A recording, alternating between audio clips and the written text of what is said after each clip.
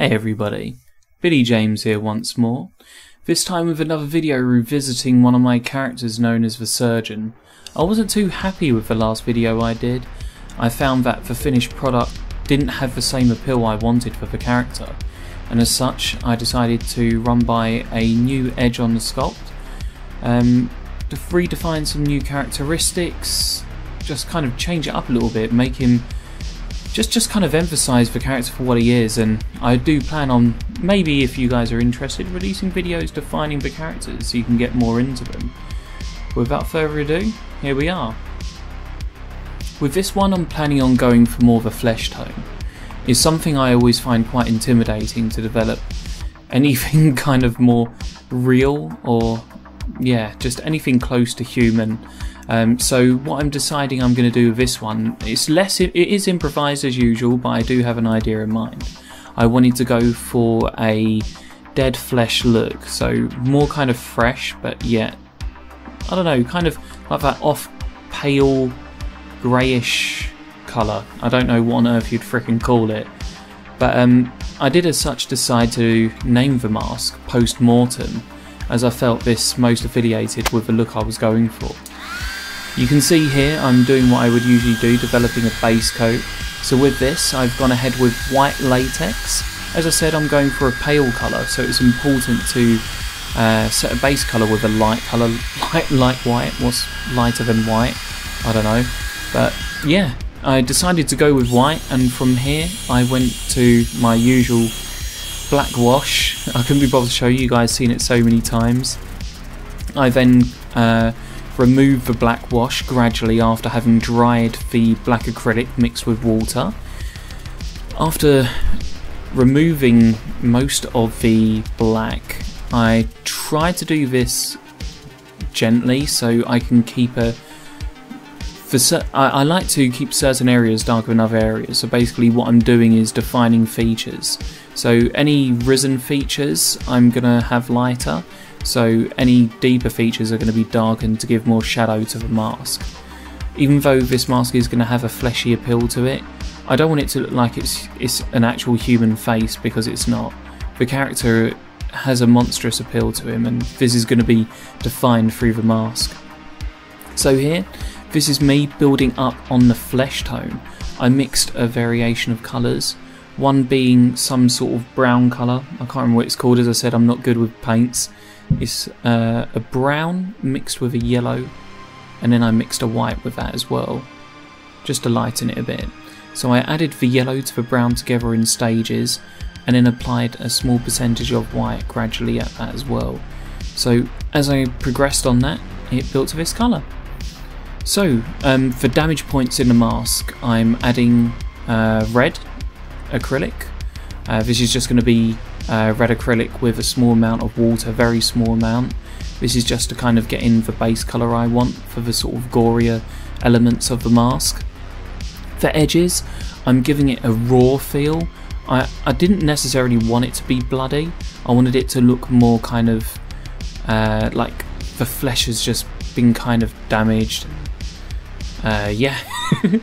but um, I'm defining all of the cracks, so the idea is that I want to go darker on the inside of the cracks and a little bit lighter outside of it on the edges, just to show the uh, the way it's affected the skin. Um, I'm going to define this throughout various areas of the mask. There's quite a lot of damage points, especially around the mouth. Once that's done, I then go over with a red acrylic with liquid latex. It's about a 60-40 ratio, as usual. With this one I also applied, just as with before, I think it was red acrylic mixed with blue this time. Prior to that it was red acrylic mixed with uh, a deep brown. Um, once again I did do this in stages until I did get the colour I wanted.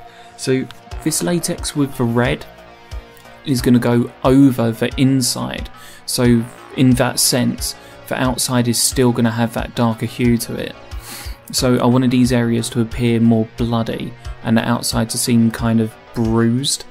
So I'm going to go over this with some light strokes just so I can kind of define the outer areas, just make them look more affected by it.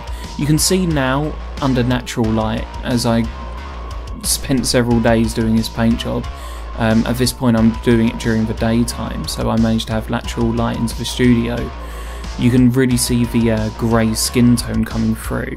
It still doesn't do it much justice, but I will give you a little preview of it at the end as usual. Here, I'm dry brushing, so this is just a uh, black acrylic. I probably shouldn't have gone for black because it was a little bit too harsh on the mask. Um, but I did it anyway. so here I'm just going to coat over the uh, red with latex. I wanted to kind of give it more of a glossy look, just to give more character to the gore. If you seal it with the latex over before you go over with anything else, it does give it more definition.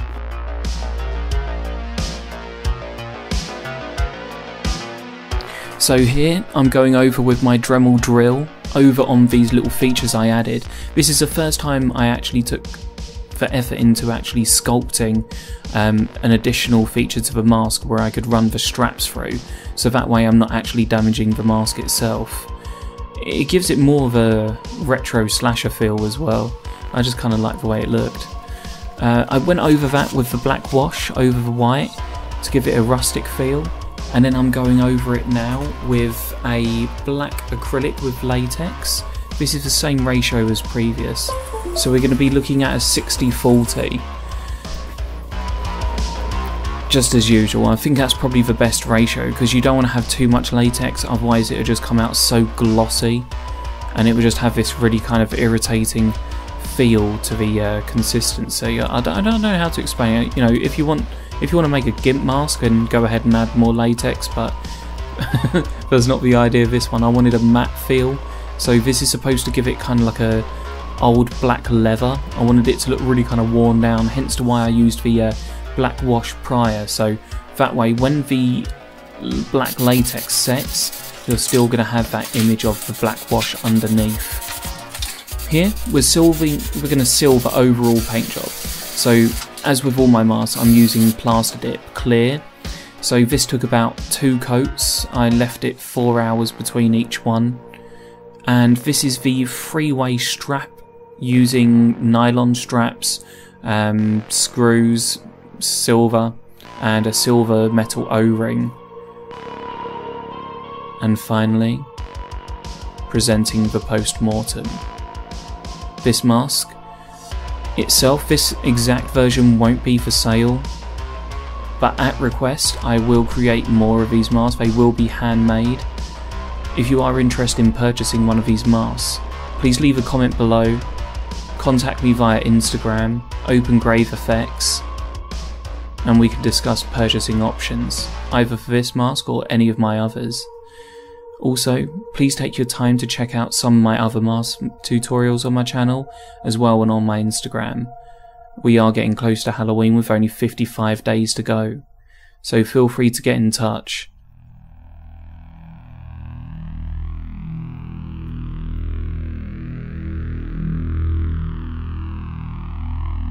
So for now, thanks for watching, and as always, I bid you sweet nightmares.